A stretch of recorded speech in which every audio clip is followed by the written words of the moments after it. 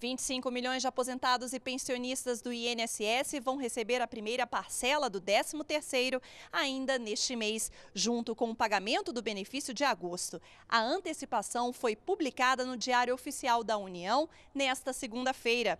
De acordo com o calendário de pagamentos do Instituto, o dinheiro será acreditado entre o fim de agosto e o início de setembro. Os pagamentos começam pelos beneficiários que recebem por mês até um salário salário mínimo.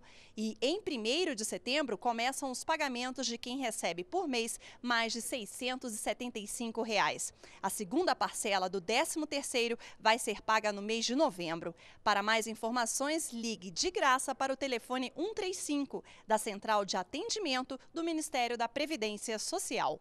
De Brasília, Daniela Almeida.